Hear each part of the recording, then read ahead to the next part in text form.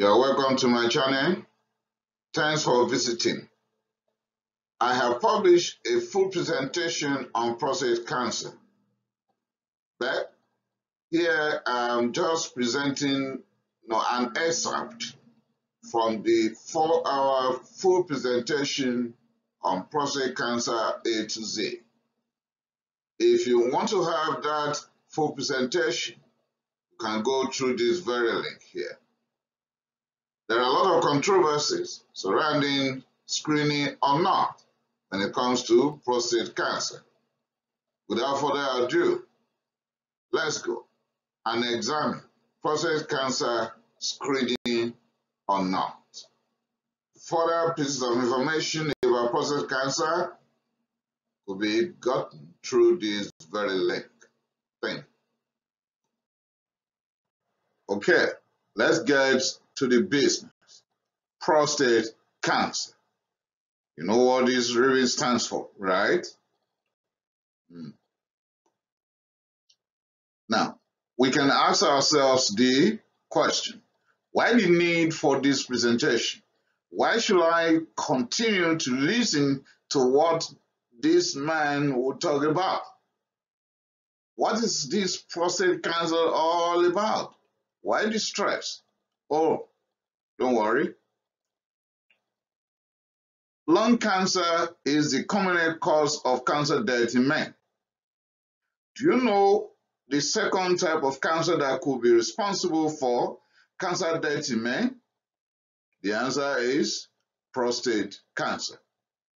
So, it is uh, helpful if we know everything about prostate cancer and then know, go on with our life without bothering ourselves about prostate cancer anymore, or we'll start the screening at the appropriate time. Let me go through the first note here. Nothing is fixed about prostate cancer the pieces of information we are going to get here about prostate cancer will go round and round and round. Then we'll get to the final bus stop. It is all over the map. Some will say it is all over the place. But I will do my best to make sure we navigate rightly you know, and get to you know, the conclusion about prostate cancer. In other words, we'll get to how to make definitive diagnosis of prostate cancer. Prostate cancer uh, could be tagged as a silent killer in the sense that it can kill you, but prostate cancer will do so silently, and whether it grows very slowly. Some people can have prostate cancer in the next 10 years. Will have no headache, but it could metastasize, get to some other parts of the body, and at that stage, curing it will become a mirage. It affects black men disproportionately more than all other men from all other races in the world. Get these facts right. All men who have prostate cancer. Black men will suffer more than the rest around the world. However, prostate cancer is worldwide. It's found worldwide. My advice is you follow the protocol in your jurisdiction after listening to this presentation. The information here, the pieces of information here is expected to bring the necessary transformation and appropriate actions should follow. Now, dedication.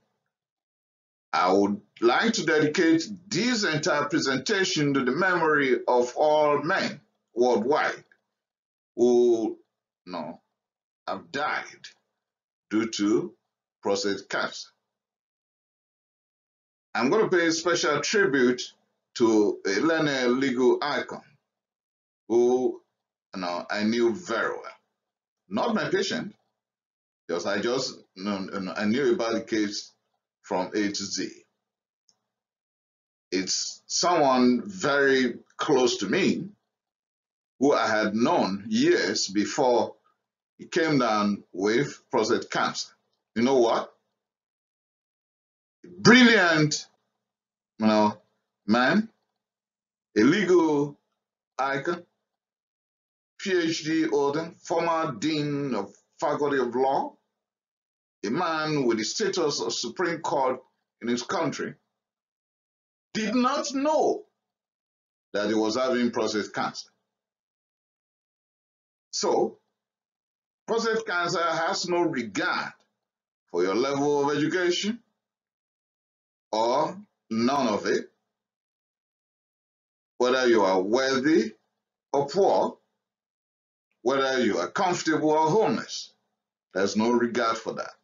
All that is important is you know through this presentation that you are one of those who must go for screening quickly. If not, by the time this slow growing cancer will be discovered to be in your body, it might have gone beyond you know, the point of remedy. It might, you know, uh, like point of no return. No. Okay, this legal expert or lawyer, attorney, or whatever you call in your jurisdiction, the first sign that he picked was frequent falls and weakness. He approached his physician and started working on what was responsible. Now, along the line, they picked that metastasis has already occurred, affecting the bones. Imagine that. So, he died. He died. Not because he was poor, not because he didn't have education. He died because the slowly growing cancer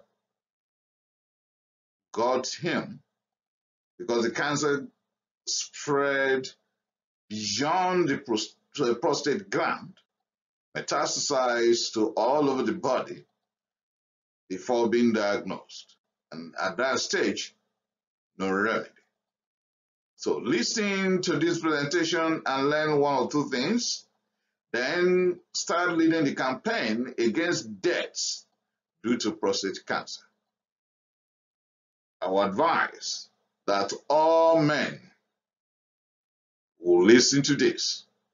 Listen to this and pass it to your friend, to your brother, to your nephew, to your son, uncle, father, grandfather, great grandfather, and even pass it to you know, women who will help their husbands, their sons, no, their fathers, their uncles, their brothers as well. Don't wait for the symptoms. And someone will ask me the question, why that? Like I said, these cancer will grow slowly. And all you could pay most of the times will be lower urinary tract symptoms, symptoms of obstructive uropathy. Now, I will get into all the symptoms in a bit, so I'm not going to take all your time right here. Then some other people who are unlucky, like you know, the legal icon that I knew very well, will pick the first symptoms the first time when it has already metastasized, like falls, frequent falls, and weakness, pain, confusion, even anemia. So for that reason, please don't wait for the symptoms before you approach your physician on the way out, not to die due to prostate cancer. Now, screening. I had a story of a family uh, who said they will sue their father's physician who came down with you know bad stage of prostate cancer and no treatment could help. And the uh, elderly man died. And one of the daughters said we're going to get the family physician sued for not screening for the prostate cancer before you know the bad stage that our father was uh, diagnosed with. Now, uh, when it comes to screening of prostate cancer, I'm not defending the physician, but I'm telling you the facts that you cannot blame that physician no too much for the following reasons. In medical work, we have timetable and routine screening times for cervical cancer, for breast cancer, for colorectal cancer, and the list goes. But for prostate cancer, no. In fact, what you're going to get through this presentation is that there is argument for screening, an argument against screening for prostate cancer. To those who are arguing for screening of uh, prostate cancer, will say this. One, since there is no symptom per se in early part of prostate cancer, then screen. Second, they will say, if you pick prostate cancer early and treatment is embarked upon, you know, with some other interventions, that can help greatly and the man will eventually die of another cause, not prostate no, cancer. Three, if signs and symptoms are pointing to lower urinary tract symptoms, then why not having prostate cancer screening done? And be sure it is not BPH, it's not urinary tract uh, infection, it's not prostatitis, it's not um, uh, exercise or trauma, and so on. Okay. In addition to that, uh, when you have screening done and you are picking high level of PSA, the argument for is that that is good. That would trigger you know, further investigations like trans, you know, rectal ultrasound, then you will be able to determine whether we should have biopsy and have definitive diagnosis and be able to help the man out early in time. Also for screening, when someone has been diagnosed with prostate cancer and he is on the treatment, screening will help in monitoring. There's no fight, there's no quarrel over the you know, last part that I've just said. Once somebody's already, you know, definitively diagnosed and is on treatment, then uh, there's no problem you know, about screening. Then everybody will agree that that will be screening. Okay. Now, uh, let's see. Some people will argue against screening and they have more points than those who will argue for. Now, what do they have to say? Argument against screening for prostate cancer.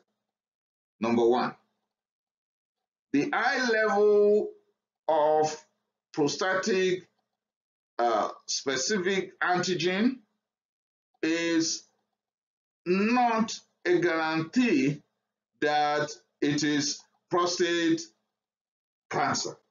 Whether uh, there is false positive and only 25% of high level of PSA is truly prostate cancer. When PSA is pretty high, it could be urinary tract infection, it could be as a result of BPH, could be as a result of digital rectal examination done, or because you know, the man had already just uh, had ultrasound done, mm-hmm, and transurethral ultrasound, mm-hmm. or this man had just uh, finished exercise like biking before the sample was taken, or because of biopsy or trauma, you know, uh, affecting the prostate gland, or because it's a warmer climate, or you know, the individual are just you know uh, ejaculated. So all these things could lead to high level of PSA. So those who are arguing against will say you are wasting your time. The value of PSA doesn't mean the person is having prostate cancer. Okay. Another reason why they are saying no screening, that is argument against, is we can have false negative. So when you screen and the PSA level is low, that doesn't rule out prostate cancer. Let me pause and rewind myself here. So you have taken the sample of PSA, it's been assayed, and the result has come back and PSA level is low. Don't tell the patient congratulations, sir. You know why? About 10 to 15% of prostate cancer will not produce high level of PSA. Wow. Wow. Another argument against is we can be overdiagnosing. We can be overdiagnosing. Why that? You might be diagnosing a man with prostate cancer and it may not be the type that is very harmful. It might be the type that the man can even live with and die a natural death after. Then, near having that meeting and declaring to the man that I'm sorry to declare this to you that uh, the biopsy had, you know, come back and then you are having prostate cancer will be enough to tilt him into depression, into anxiety, and that might be what will even kill the man. About the stress of the treatment? That may not even be needed in the first place because the next 10 years, if it's not the aggressively growing type, we'll get, we'll get into different types later on, where differentiated, undifferentiated, and intermediate, we'll go over them. How about the loss of money and time? And the side effects and complications of you know, every medication, chemotherapy, you know, radiotherapy, hormone they all have side effects. Why do we want to subject someone into all these things when the type of prostate cancer they have will not do them any harm for the next 10 years, and the man will even die before the end of 10 years, naturally. So that is why some who are arguing against are saying you don't need to be subjecting people to unnecessary stress. Even when PSA has led to diagnosis, that may not change the chances of dying. I've said it. So, people who argue against have so many uh, points, but those who argue for, they've stated their points earlier. So, Listening can continue to listen and make up your mind by the time I'll be rounding up. Now, who should even think that he or she will need screening for prostate cancer? Who should even should should it cross the mind of everyone? I would say yes for all men all over the world. But more now about the fallen people. If you are a black man or a man from the Caribbean, you should be thinking about it once you have lower urinary tract uh, symptoms and the symptoms of obstructive uropathy. I will go into all those symptoms very soon. So I we just want to whet your appetite. If I say it here, you, you, you might end the uh, presentation and then run to your doctor. So you'll get it in a bit. So you're a black man or you are from Caribbean and you're having lower urinary tract symptoms, uh, symptoms of obstructive uropathy. It might be BPH, it may not be. It might not be uh, benign prostatic hyperplasia, it might be prostatic cancer. You are not black, you are Asian or white or you have family history of prostate cancer in your grandfather, father, uncle, you know, uh, son, as the case might be, then you need screening now that you're getting older, right? 40, 45, you're 45 years old, and there's positive family history, you need screen. Okay? You are not black, you are Caucasian, you are Asian, you are Latino, Hispanic, and you are a man, okay? And you are greater than 50 right now, but with signs and symptoms of obstructive uropathy that I will get into later on, lower urinary tract, mm -hmm, then you need to have that conversation with your physician that uh, is it only urinary tract that you know uh, infection that could give me this? Is it only BPH? Why can't we screen for cancer? Now, you have other form of cancer in, in your body. Maybe because you've been smoking for a long time, then you are done with lung cancer, no cancer elsewhere. Mm -hmm.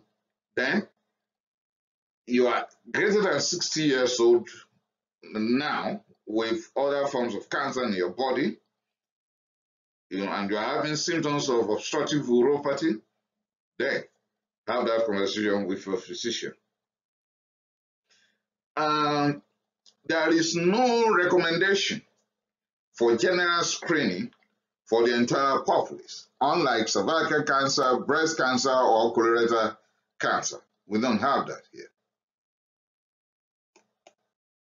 Okay, you have agreed to be screened. The screening has started. The PSA is the result is back and it is high. Then the question is, okay, and so what? What is going to follow? Of course, many things will happen. I will go into that when we reach diagnosis, but just to whet your appetite right now, that high level of PSA is not saying you have prostate cancer immediately. We can't say that, but it is pointing to it. And also, low level of PSA is not saying you don't have prostate cancer. No, no doctor will tell you, oh, your PSA is, is low, congratulations, no prostate cancer. No, there's nothing like that. Because you can have prostate cancer and PSA is low. And then the, the, next question somebody will tell me is, so why doing the prostate uh, specific antigen at all? Well, I will tell you more when we reach diagnosis. So when PSA is high, we then do more tests. We do CT scan, we do um, ultrasound, we do MRI, PET, we can even do bone scanning, we do everything and then determine if you are qualified for biopsy. So when the biopsy is done, reported, histologically examined, then Gleason uh, uh, grouping and classification is written, then treatment will commence.